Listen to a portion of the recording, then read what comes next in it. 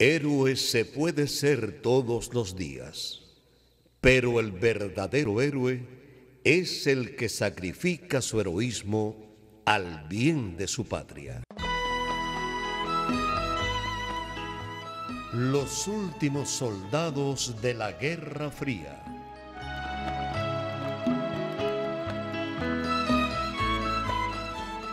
Obra original de Fernando Moraes, adaptada para la radio por Manolo Ramos. Asesor Amado Agramonte. Dirección Carlos Alberto Valdivia.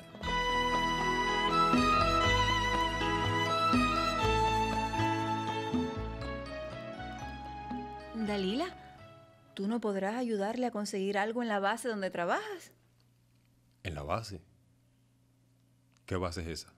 Dalila trabaja como funcionaria del Departamento de Recursos Humanos de la base aeronaval de Boca Chica. ¿Eso es cierto? Sí. Y puedo decirte que el comando de Boca Chica tiene abiertas inscripciones para la contratación de personal civil. Allí puedes conseguir trabajo. ¡Qué bien! No te imaginas, Dalila, lo que necesito ese trabajo. No será el mejor empleo del mundo, pero tendrás un salario fijo. Eso es lo que importa. Las plazas que se ofertan son de auxiliares de limpieza y de trabajadores manuales. Pero una vez que estés allí, en la base, pasarás a ocupar otra plaza si te la ganas. Sé que así será. Tony es emprendedor y sacrificado. Tengo buen ojo para descubrir eso. Verás que dentro de poco tiempo ocupará un puesto importante en esa base.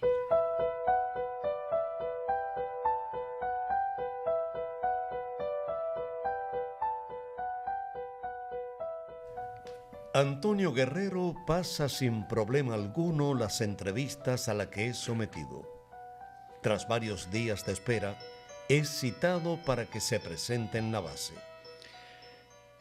Siéntese, Mr. Antonio Guerrero. Gracias.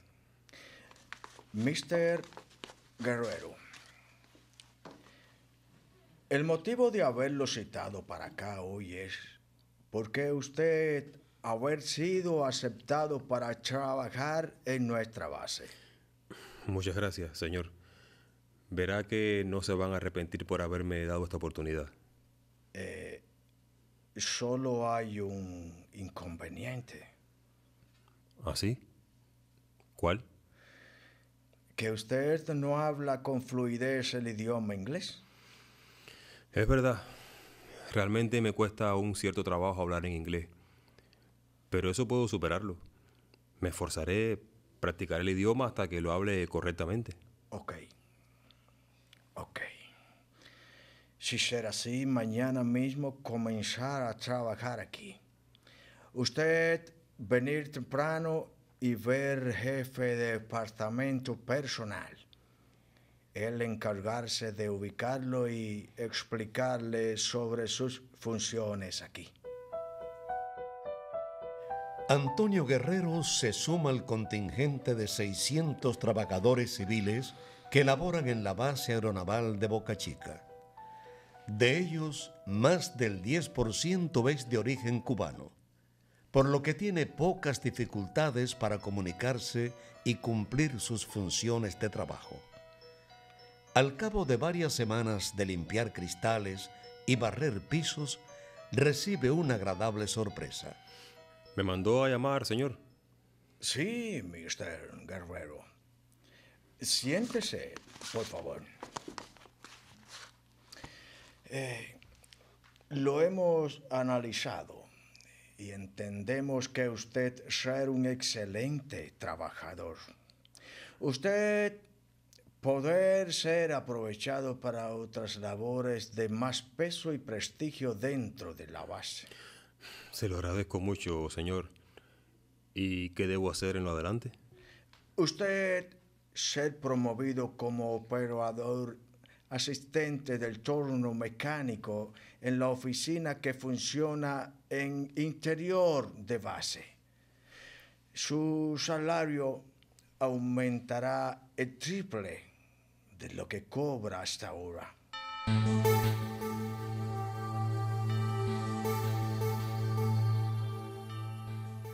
Te lo dije, Tony, te lo dije. Sabía que mejorarías de salario. Desde que ellos descubrieran lo aplicado que eres, te cambiarían de puesto. Ese aumento salarial me da la oportunidad de abandonar los trabajos ocasionales y dedicarme solo a esto. Por lo que dispondré de más tiempo para visitarte aquí, en esta casita tan linda y tranquila. ¿No te agrada la noticia, Maggie? Claro que me agrada. Pero, ¿vas a dejar también las clases de baile de salsa? Sí. Pues tienes que prometerme algo. A ver, ¿qué cosa? Que serás mi maestro particular de baile. ¿Eh? Te lo prometo. Ya te falta bastante poco para ser una excelente bailarina. Oye, tampoco abandonaré a Dalila. No podemos olvidar que gracias a ella tengo este trabajo. Ay, sí. Ella se portó muy bien contigo, Tony. Pero estoy convencida de que solo te dio el inicio de tu carrera. Tú vas a llegar lejos en este país. Muy lejos.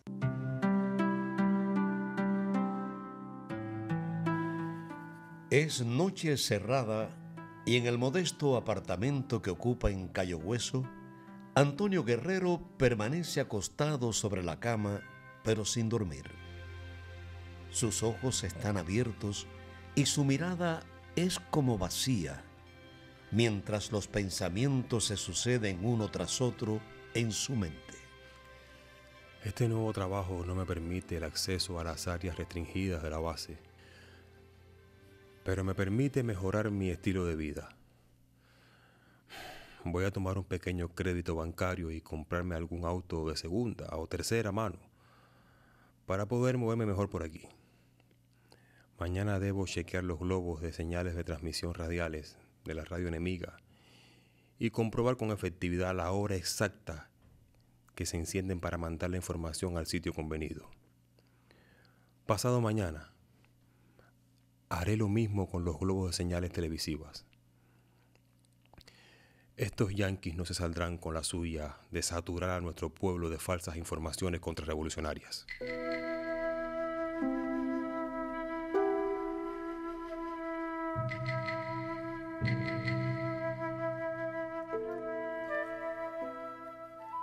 Región costera de Sony Island al sudeste de Miami. En su confortable, aunque modesto apartamento, Sentado ante una pequeña mesa de trabajo, se encuentra Gerardo Hernández Nordelo. Un pliego de papel está abierto ante él y sus ojos repasan una y otra vez cada línea para tratar de asimilar profundamente la información que allí se le brinda. Debo volver a leer esto para estar seguro de cada detalle y no cometer errores. Con el arribo de este grupo de compañeros se ha completado la rega avispa. Llegó la hora de trabajar en grande para neutralizar los planes terroristas de la mafia de Miami.